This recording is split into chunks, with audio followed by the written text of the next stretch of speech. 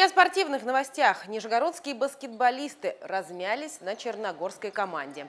На своей площадке баскетбольный клуб «Нижний Новгород» разгромил черногорскую команду в матче третьего тура группового этапа Кубка Европы.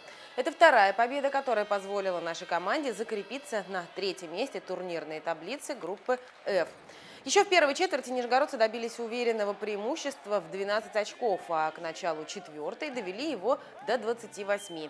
Итоговый счет 83-62 в пользу хозяев.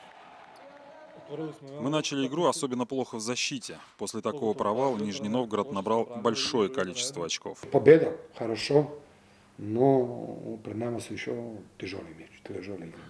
Дай, дай Бог да сделаем выводы сейчас с Униксом, да видим taj характер, да исправим.